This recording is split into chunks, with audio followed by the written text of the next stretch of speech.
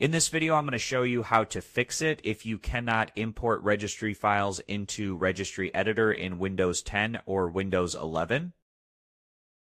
So this should be a quick and easy process.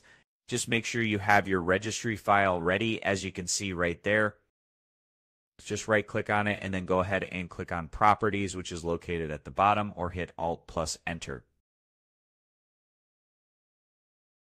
After that, just go ahead and click on the Security tab and then click on Edit.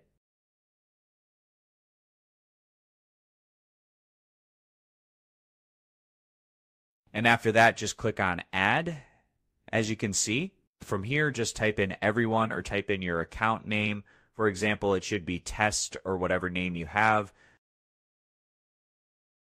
Or just go ahead and type in everyone, as I told you before, as you can see right now.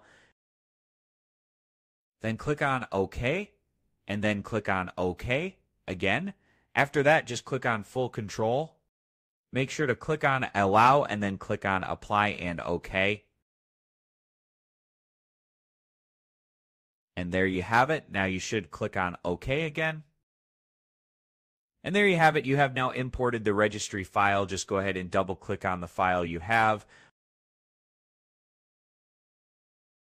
After you double click on it, just click on yes and then click on OK and you should be all good to go. And as always, thank you for watching.